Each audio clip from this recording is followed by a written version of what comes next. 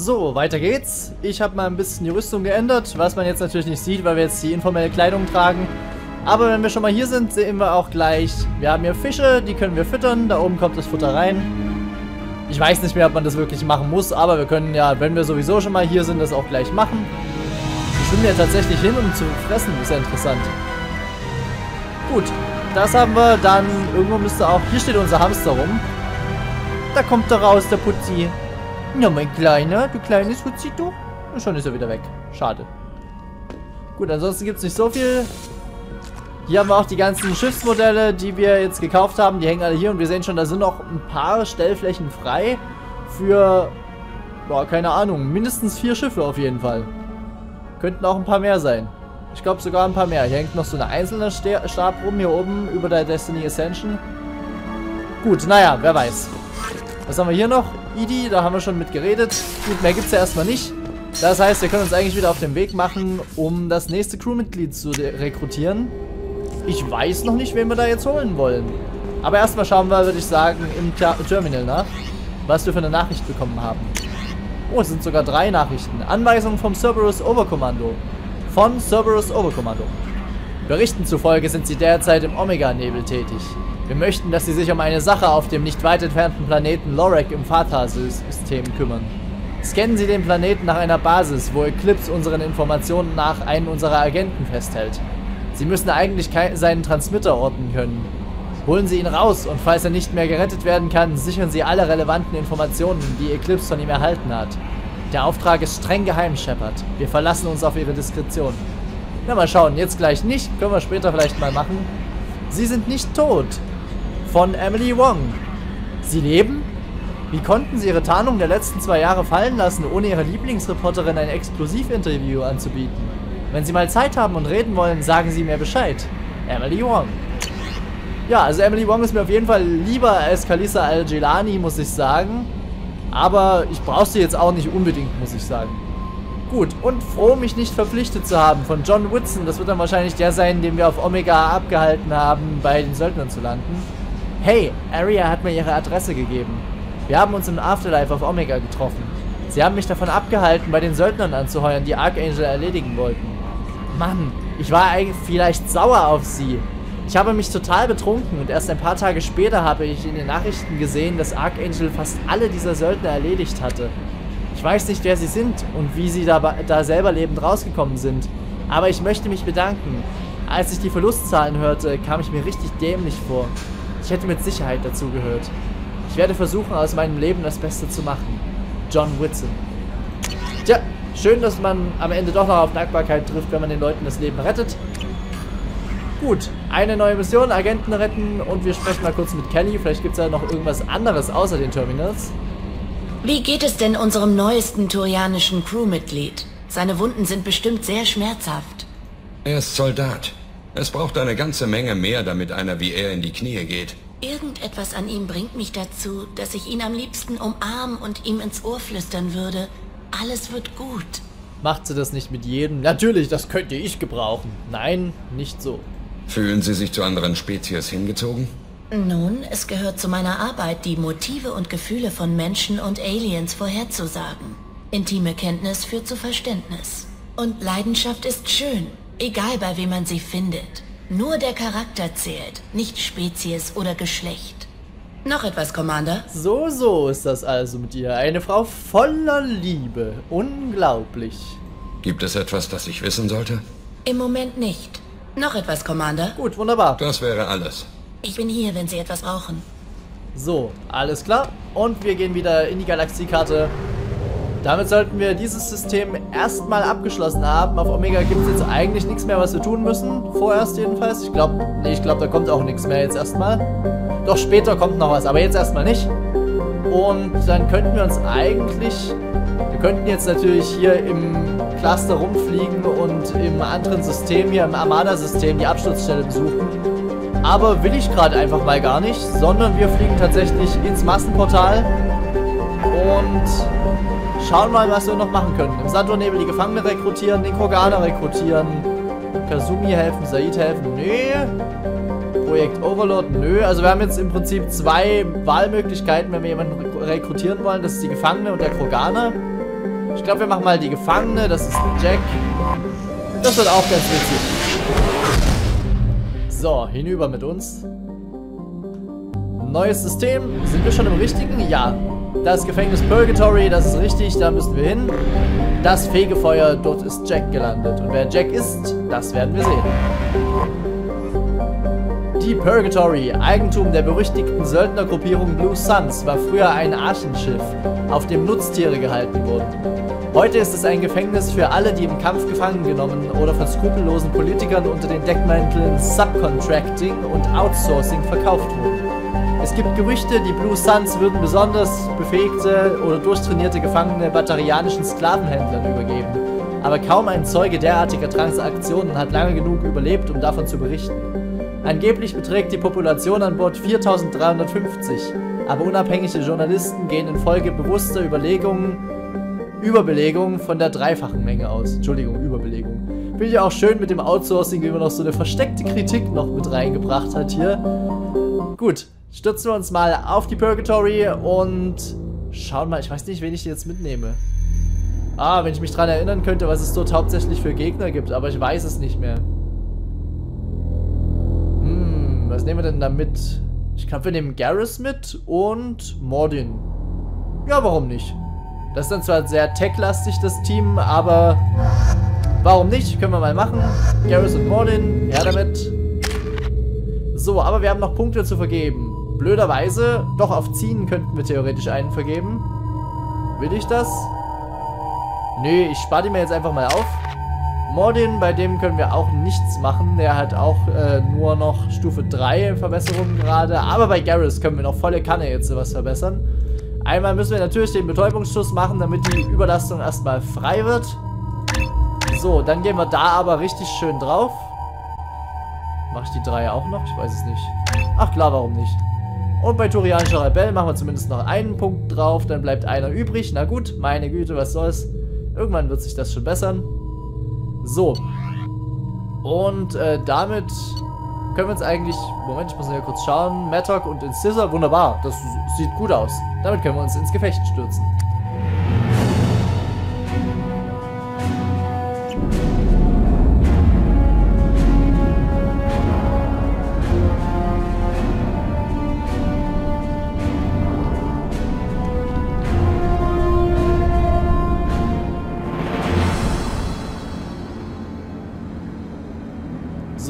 Frage ist, das ist ein Blue Suns Schiff oder eine Station der Blue Suns.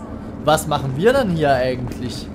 Hat der Unbekannte einen Deal mit denen abgeschlossen? Also ihr seht, ich habe die Rüstung mal ein bisschen modifiziert. Keine Ahnung, also das Rot-Grün, so richtig gefällt es mir auch nicht, aber ich habe nicht den Grünton gefunden, den ich haben wollte. Ich hätte sie auch ganz in Rot lassen können, aber egal. So, schauen wir mal. Scheinbar hat der Unbekannte ja irgendeinen Deal mit den Blue Suns abgeschlossen, dass wir an Jack rankommen. Aber mal sehen. Willkommen auf der Purgatory, Shepard. Ihr Paket wird vorbereitet und Sie werden es in Kürze erhalten. Es handelt sich hier um ein Hochsicherheitsschiff. Daher müssen Sie Ihre Waffen abgeben, bevor wir weitermachen. Das werde ich nicht tun. Alles weggetreten. Commander, ich bin Direktor Carroll. Das ist mein Schiff. Sie erhalten die Waffen zurück, bevor Sie das Schiff verlassen. Bitte verstehen Sie, das ist unser Standardverfahren. Und mein Standardverfahren ist, die Waffen niemals abzugeben. Lassen Sie sie durch. Unsere Einrichtung ist sicher genug, um mit drei bewaffneten Gästen zurechtzukommen. Wir holen Jack aus der Kryo. Sobald die finanzielle Seite geklärt ist, können Sie aufbrechen. Folgen Sie mir bitte wegen der Übergabe zur Entlassungsstelle, Commander. Gehen wir.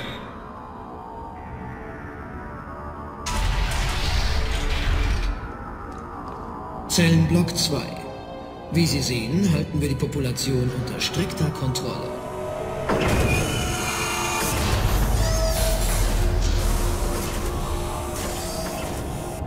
Jede Zelle ist eine eigenständige modulare Einheit.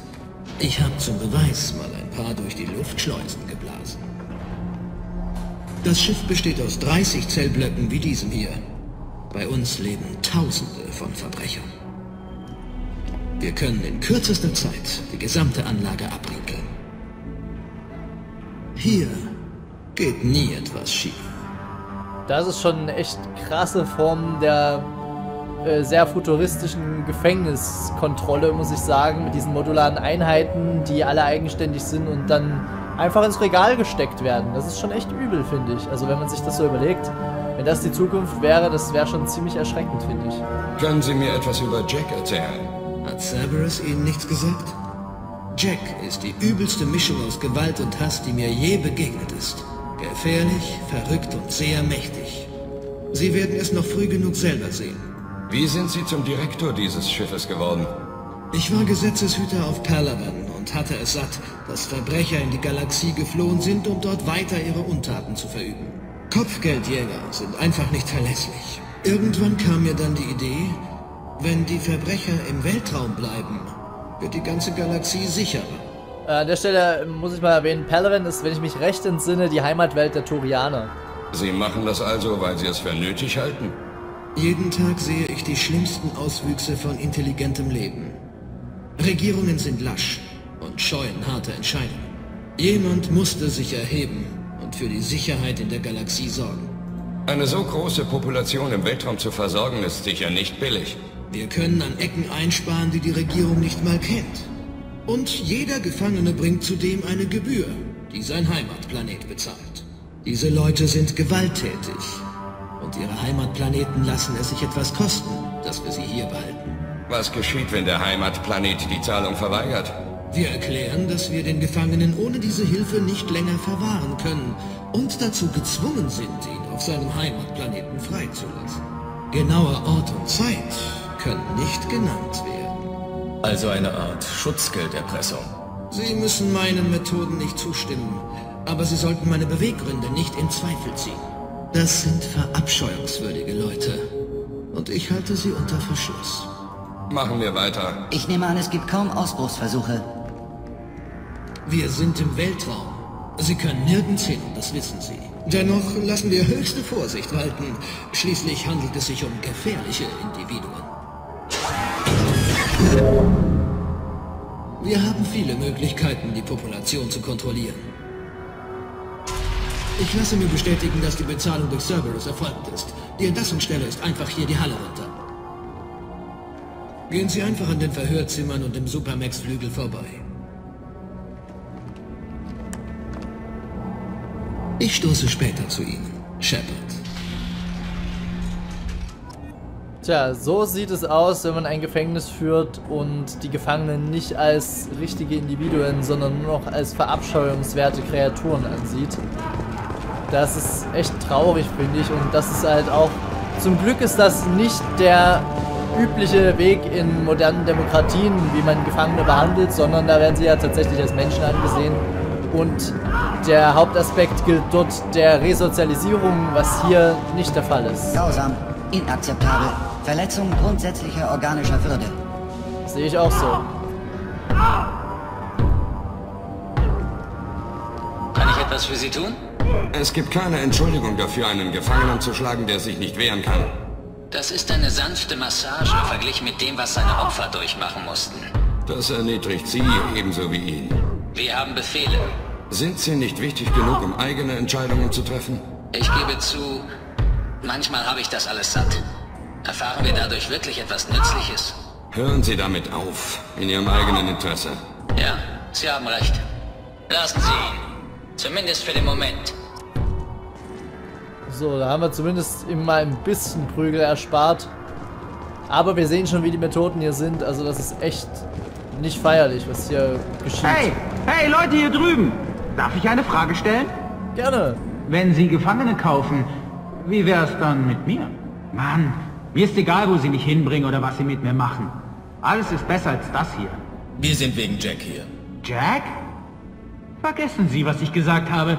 Mit ihm gehe ich nirgendwo hin. Ich dachte, das hier wäre ein Gefängnis und kein Markt.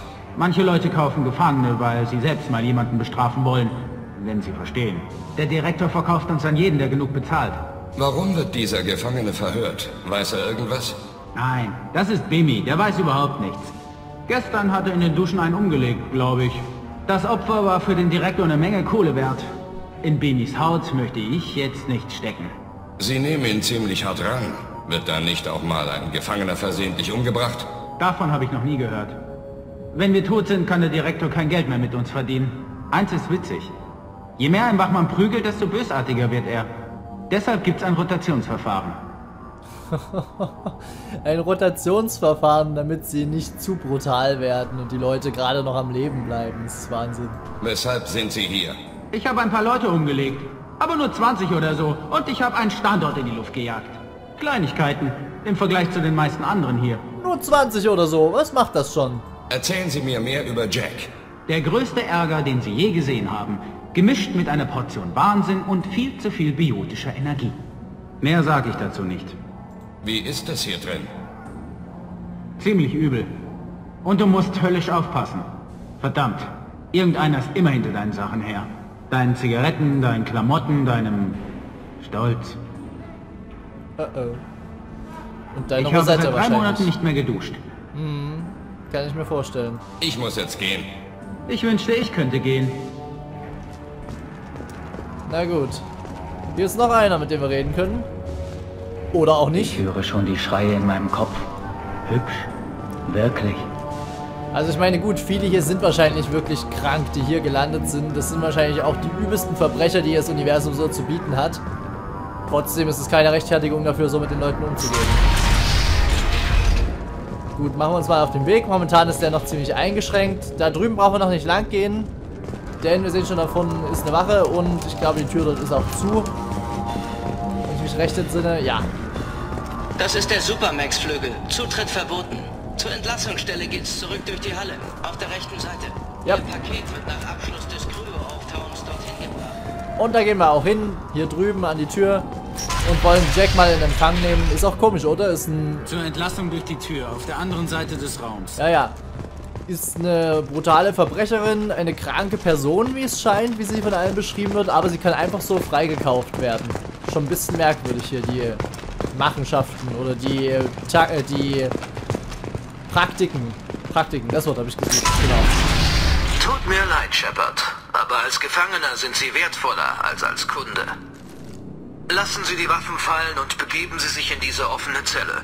Ihnen wird nichts geschehen. Und er glaubt, das funktioniert so. Da reden Sie von Ihren edlen Absichten mit diesem Gefängnis. Und dann entpuppen Sie sich als Verbrecher wie alle anderen. Systeme aktivieren. Es ist unglaublich. Tja, am Ende sind die Blue Suns eben doch nur Verbrecher, ne? So, viel Spaß, meine Freunde, mit diesen Leuten. Erstmal die Schilder runterjagen. Ist ja harmlos, nicht wahr? Und dann wird er durch die Gegend geworfen. So. Auch deine Schilde müssen leiden.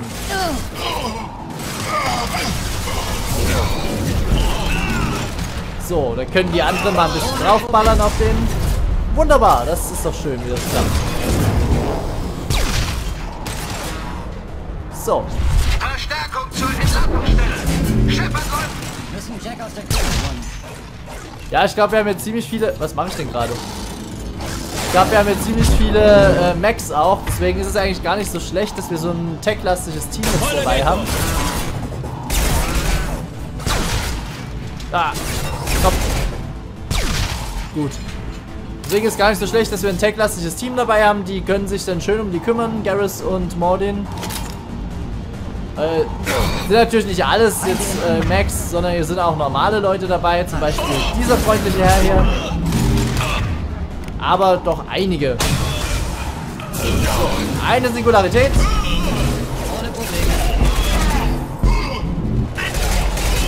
Und dann lassen wir die mal ein bisschen freischweben. Gut, weiter geht's. So, ab durch die Tür. Wir müssen Jack finden und schleunigst herausholen.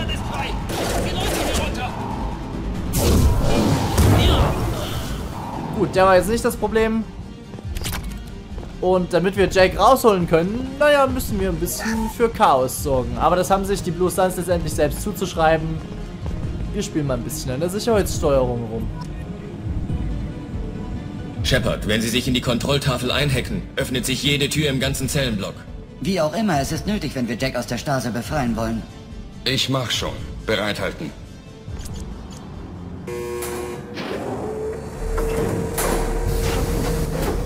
Das gibt Ärger im Paradies.